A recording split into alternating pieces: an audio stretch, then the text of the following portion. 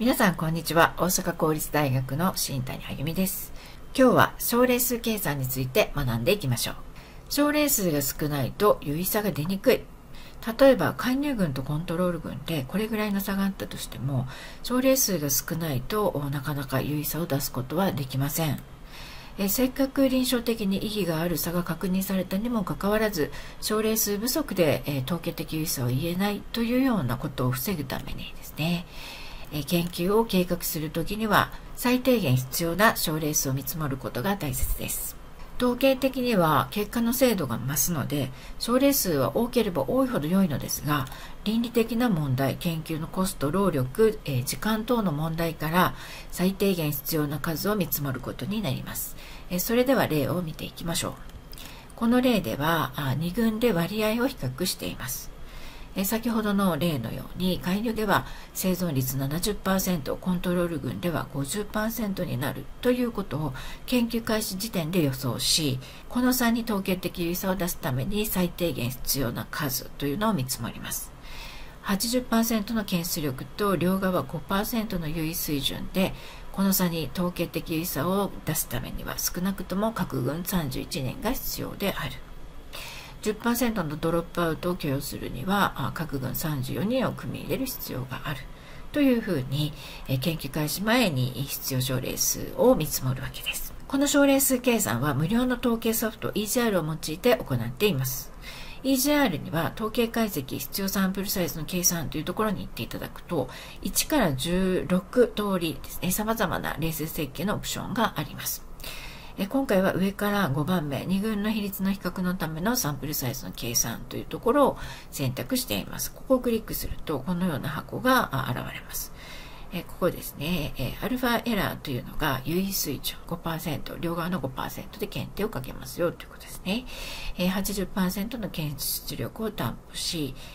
コントロール群と介入が1対1で割り付けしますということで、これデフォルトで入っています。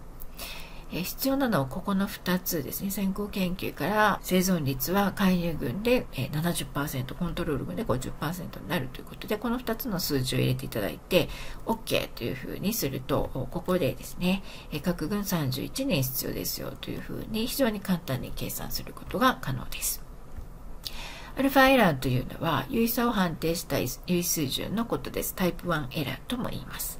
タイプ1エラーとは差がないのに間違って差があるとしてしまう間違いの確率です。通常は両側の5%に設定をします。これ、あの両側になってます。え検出力です。検出力とは1からタイプ2エラーを引いたものになります。タイプ2エラーというのは本当は差があるのにないとしてしまう間違いの確率のことです。え検出力は1からタイプ2のエラー、タイプ2エラーを引いたものなので、どういうことかというと、え本当に差がある時に差を検出できる確率ということで、え解析のパワーというふうに呼んでいます。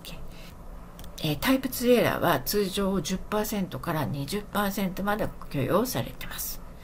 えということはあ検出力は通常80%から90%に設定するということで EGR ではデフォルトが80%に設定されています、えー、面白い気づきがあるんですけれども差がないのにあるとしてしまうタイプ1エラーは5%まで許容。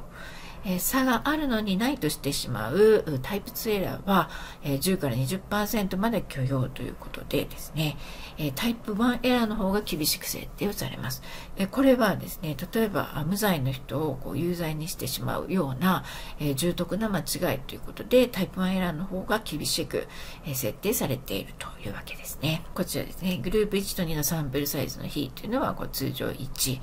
1対2としたい場合はここ2とタイプしていただければいいと思います。それでは次の例を見ていきましょう。次の例は平均を2群で比較する例になります。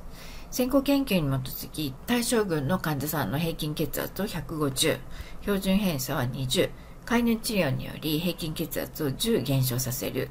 というふうに想定します。80%の検出力と両側5%の優位水準で、この差に統計的優位差を検出するためには、少なくとも各軍63人が必要です。10%のドロップアウトを許容してですね、各軍70人を組み入れる必要があるというふうに計算することが可能です。EGR では上から9番目の2軍の平均値の比較のためのサンプルサイズの計算というのを選択します。えここでえクリックするとこの箱が出てきます。え2軍の平均の差ですね、血圧の差10と置いていただいて、え、標準偏差20と入れると、あとここデフォルトで入ってますので、これで OK と押します。え、そうすると、各群63に必要であるというふうに簡単に計算することが可能になります。え、EGR にはいろんなオプションがあります。え、例えば、域地走行率、気体走行率からのサンプルサイズの計算や、一群の比率の信頼区間をある幅に収めるためのサンプルサイズの計算。これはある疾患の発症率を記述したりですね、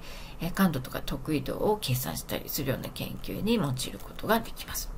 3番目、1群の比率を基地の比率と比較するためのサンプルサイズの計算や、2群の比率の比較のためのサンプルサイズの計算、2群の平均値の比較のためのサンプルサイズの計算、ね、同じ2群でも対応のある2群の平均値の比較のためのサンプルサイズの計算や、え生存曲線ですね、これカプランマイヤー曲線に対する、えサンプルサイズの計算などオプションがあります。えまた、非劣性のためのサンプルサイズの計算というオプションもあります。えほとんどの場合、サンプル数を計算すると思いますけれども、えたまにですね、サンプル数は最初に分かっていると。え、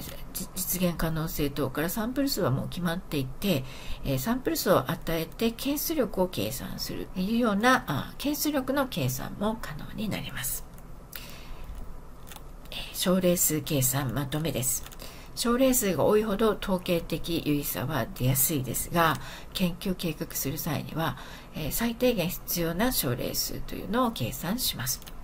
無料の統計ソフトの EGR で簡単に計算できますので、ぜひトライしてみてください。え私の書籍のですね、一番最後の章に、え必要症例数について EGR の使い方ご紹介していますので、えもしよければ参考にしていただければ幸いです。これで症例数設計について説明を終わります。ご視聴ありがとうございました。